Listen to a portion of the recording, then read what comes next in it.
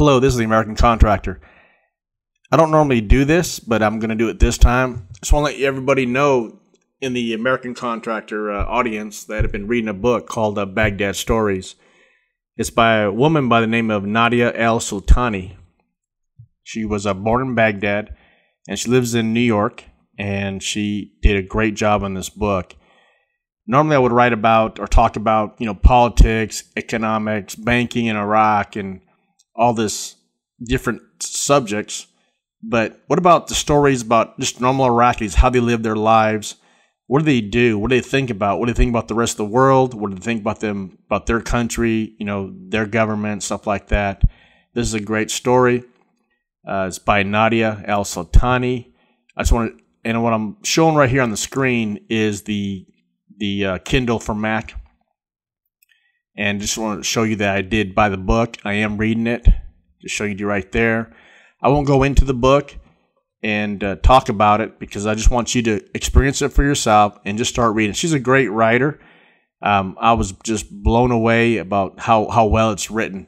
And she has an economics background, and you wouldn't think that should be a good writer, but I was shocked and surprised that it's a very good read.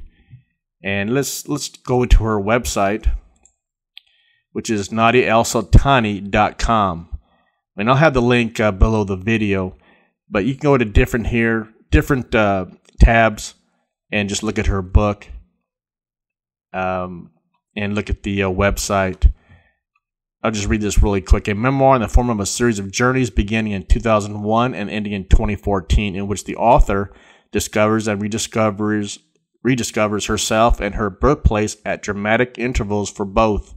Beginning in the wake of 9 11, Nadia flies home with her mother to find life difficult under Saddam's Iraq dictatorship and U.S. sanctions. Her fate seems to follow like a river for charged destiny of her native land. Then her next journey into Iraq was 2002. She would stay in a second home her mother has been preparing for for over 20 years. So she goes over there multiple times. I think three times. And she kept notes. She kept. Uh, she was interested in writing a book. But this is a. It's a very good read, like I said, and it is on Amazon, and you can um, purchase it there, read it. Like I said, I'm reading it right now. I don't want to scroll down because I don't want to do any kind of copyright issues or you know make her upset. But uh, um, this is the Baghdad Stories by an Iraqi American memoir, Nadia Al Sultani, and that is her website. Is her name NadiaAlSultani.com, and I'll have all these links below where you can purchase the book from Amazon. A great place to buy anything on the web, and she has videos. Let's look at video videos right there. She has a on a YouTube channel right there. Let me press this. So just great. It's just a great video. Talks about you know her experiences in Iraq. So buy this book. I appreciate it. All my you know leave your comments below the video and uh, tell me what you're thinking. This is the American Contractor. Hope everybody's having a safe and uh, joyous and great Labor Day weekend. This is the American Contractor, and thank you for watching.